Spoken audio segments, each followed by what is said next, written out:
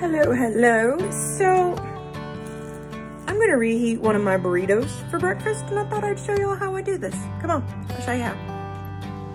So these are how I store them. You can see that everything in here is in uh, freezer bags. I keep mine in these little snack bags. Now, obviously this is an extra expenditure. So if you're looking to save money, you can also um, wrap these in aluminum foil or you can you can even just stack them on top of each other in that one freezer bag uh, but they will stick together. Um, I do this for my mental health reasons because it's just easier to get it out. So oh and there's Bagheera having his second breakfast. I usually try and put it on the outside edge of the microwave so it'll spin.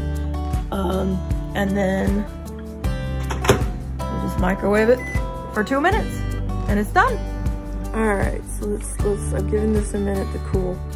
So let's give this a taste. Mm. That's good. Mm. I love these.